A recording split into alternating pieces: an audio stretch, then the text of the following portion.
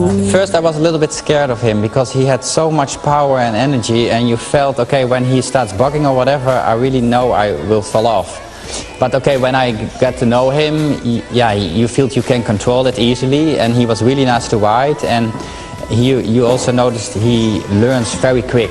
And that was really nice because we started with something a day and then the next day he know oh I know it already. And that was really nice. And that's why I think he, he is also good at everything he finds everything so easy and I think you can also see it with him.